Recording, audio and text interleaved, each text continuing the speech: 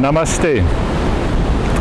Welcome to Manal Uh, my name is Paul. I'm from the Netherlands and I live in France.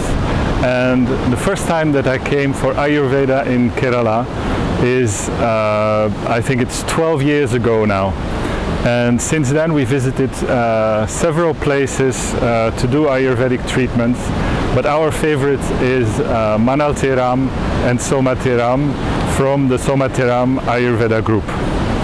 Um, we have here a beautiful surrounding. Uh, we are close to the sea, we have the beach, we have fantastic uh, therapists, doctors, and uh, everything that uh, that you need for a good uh, treatment. You can do meditation, yoga, everything to preserve your health and everything to regain health and uh, general uh, well-being and deep relaxation.